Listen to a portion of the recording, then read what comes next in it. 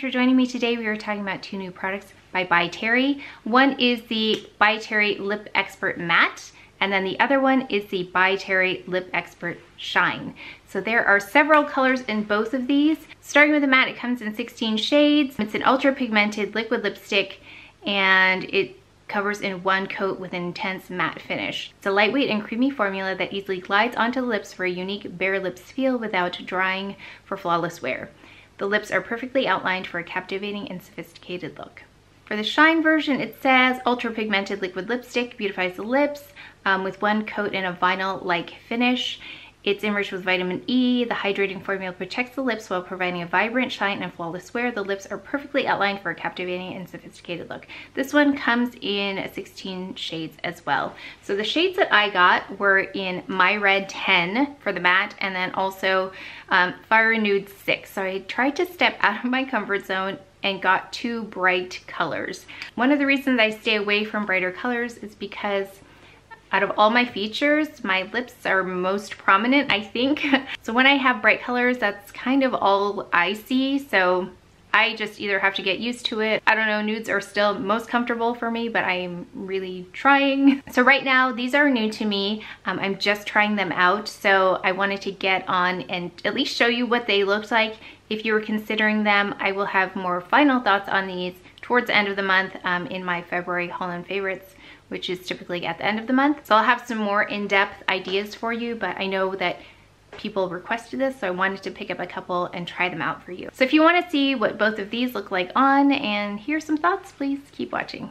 So I've had Baume de Rose on my lips kind of just to condition it before I apply the lipstick. I'm gonna start with the shine one because I'm going to apply this and then remove it and then apply the matte one because I'm guessing the matte one's going to be more difficult to remove. So I just wanna make sure I can remove as much of this as possible before I apply the matte one so you can see the difference. Again, this is in Six Fire Nude and it's supposed to just take one swipe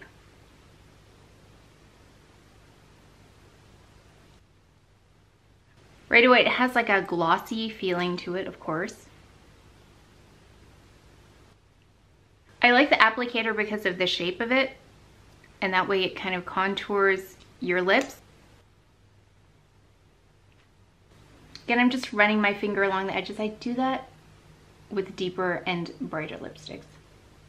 It just makes that line a little bit less severe. I know it said one coat, but I have to be careful that I don't end up all over the place, so I put a really light coat on there. So let's go in with another one. It feels like if I had like a more nude color, then I think it would be a lot easier to apply without a mirror. Okay, and that's one of the reasons I don't really wear bright colors because I feel like that is the only thing you can see on my face. Let me know if that's distracting to you because it kind of distracts me. So this formula is really beautiful. So far, yeah, it's very gloss-like. It reminds me a lot of the Gloss Terrybly Shine. It does have a certain thickness to it. I mean, you can see on the actual wand, let's see, that it keeps a shape. So it's got a nice thickness to it. Also, it reminds me of the Gloss Terrybly Shine. That also is a thicker formula of a lip gloss, I think, but they're both not sticky. Really comfortable on the lips. I think with the right makeup with me, it would work well. I'd like to test these both out individually in terms of the wear. So what I'll do is I will leave in the description box below how they did in terms of the color fading, what that looked like, and also moisturization. Sometimes when the gloss wears off, it can feel a little dry. And then of course for the matte one, I wanna see how drying or not drying that one is. So I'm gonna go ahead and remove this and then try the matte one on. So you can see right away, So that right there gives me an indication of how this would wear, say if I was eating and then I used a napkin. This is probably what it would look like in the end. So that's pretty good. And what I like about that is that it's an even fade. It doesn't have to last a long time. So what it has to do though is fade really well in terms of its evenness. So not patchy. Sometimes that'll happen where you'll get color in some places and not in others. But this fades really nicely and there's nothing odd looking about it when it fades. I'm just putting just a little bit of that Baume de Rose again because my lips are very chapped these days. So just a thin layer. So if I put that matte one right on top, it's just gonna feel extra, extra dry. So here we go with red. And if you've been here before, I have a harder time wielding red, especially liquid type formulas. So wish me luck.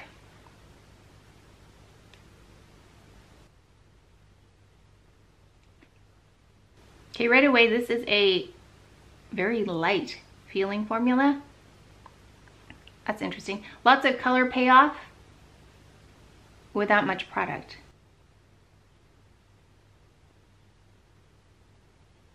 It reminds me a little bit of the Lancome Juicy Shakers.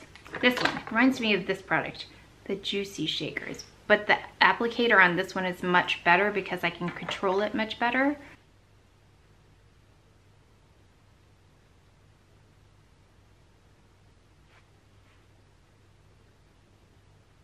That is very red. Okay, I'm gonna take a Q-tip again and just run it on the edges here.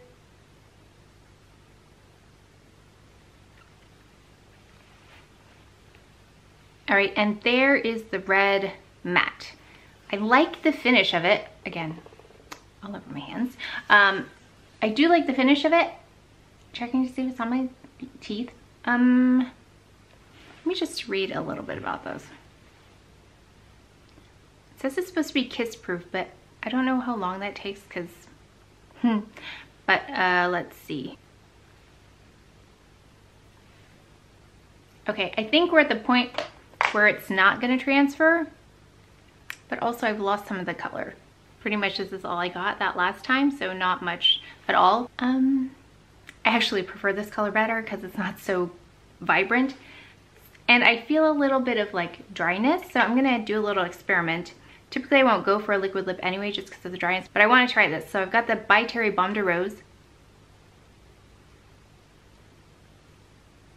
Just for that hydration. And of course this is emollient, so it will separate that pigment again.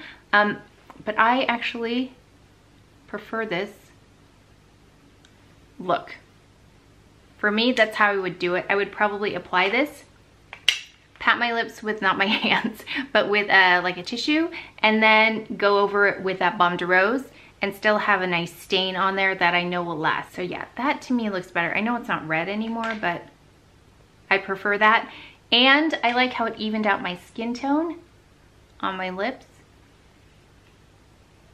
So I have some thoughts, even though these are new products to me.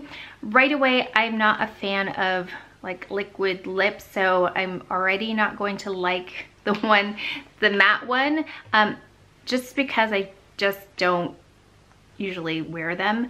They are not comfortable on my lips and typically are drying. I like this a lot the uh, Lip Expert Shine. It reminds me like I said of the By Terry glosses but with more intensity and more of like a lipstick um, which of course makes sense because this is like a lipstick type product the By Terry glosses are already thick, so it's just a bit more intense and a bit thicker than the gloss to me and I like that. So I think I will invest in a few more of the lip shines.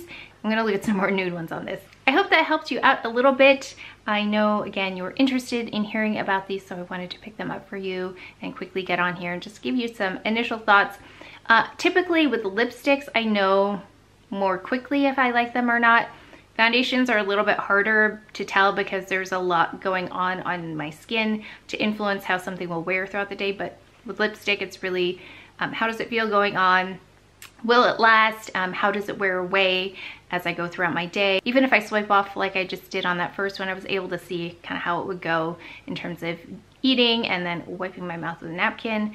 Um, so a little bit easier, I think, to give some feedback on lipstick rather than say a foundation.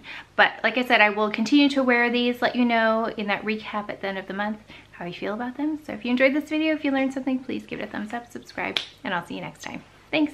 I'll update you in the information. What I'll do is update you in the information. What? What I'll do is I'll update you in the information. Oh.